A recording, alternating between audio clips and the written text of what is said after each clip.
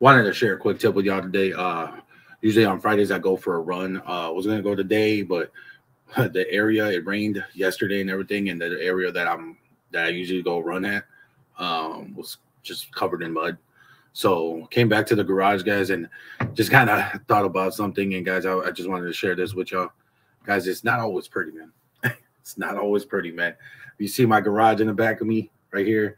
I mean, yeah, I got stuff all over the place, some storage stuff, some stuff we're donating, stuff we need to get rid of, little things like that, right? So it's not always pretty. It's not the most ideal situation or atmosphere, right? But I still got it done, right?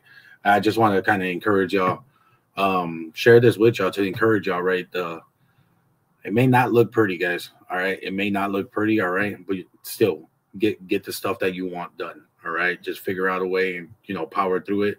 Doesn't have to look pretty, guys. It has to be effective. All right, has to get get that end result for you. Okay. Hey, I appreciate y'all. Y'all have a great great day. All right. If you find this uh beneficial to you guys, just like it, share it, subscribe it to somebody that may need to hear it today. All right. Have a blessed day.